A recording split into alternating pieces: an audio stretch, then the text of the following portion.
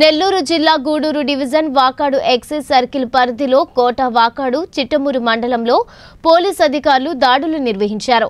Corona విజృంభిస్తున్న పరిస్థితుల్లో కళ్ళు దుకాణాల వల్ల జనం గుంపులుగా ఉండే అవకాశం ఉండడంతో కలెక్టర్ ఆదేశాల మేరకు కోట వాకాడు చిట్టమూరు మండలాల్లో దాడులు నిర్వహించామని అధికారులు వెల్లడించారు.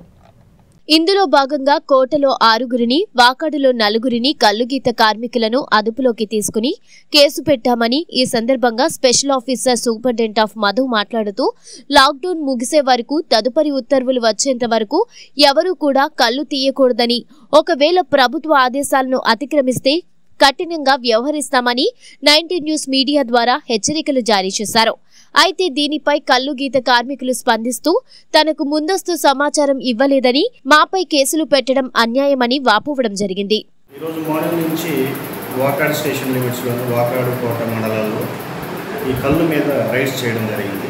దీనికి గల కారణం ఏంటంటే ఈ కరోనా ప్రభావం వల్ల జిల్లా కలెక్టర్ గారు ఉత్తర్వులు ఇస్తూ మద్యానికి సంబంధించిన మద్యం షాపులు కానీ బార్లు క్లబ్లు తాడీ దుకాణాలన్నీ కూడా కళ్ళు దుకాణాలన్నీ కూడా క్లోజ్ చేయమని చెప్పి ఉత్తర్వులు ఇవ్వడం జరిగింది. ఈ అన్నీ క్లోజ్ చేసాము తాడి సొసైటీ ప్రెసిడెంట్స్ కూడా నోటీస్ సర్వ్ చేయడం జరిగింది. అయినప్పటికీ కొన్ని ప్లేసెస్లో ఇల్లీగల్గా తాడి గీస్తూ బయట నుంచి వ్యక్తులు వచ్చి ఊర్లో తాగడం వల్ల ప్రజలు భయభ్రాంతులకు గురవుతున్నారనే ఉద్దేశంతో రైడ్స్ చేయడం జరిగింది.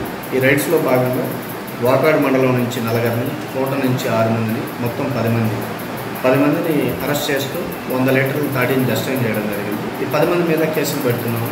మరి పత్రికా ముఖంగా మేము కళ్ళు గీత కార్మికులకి అందరికీ తెలియజేసేది ఏంటంటే కలెక్టర్ గారు ఉత్తర్వుల మేరకు మీరు ఎన్ని రోజులైతే క్లోజ్ చేయాలనో ఇప్పుడైతే ప్రజెంట్ ముప్పై ఒకటి వరకు ఉంది.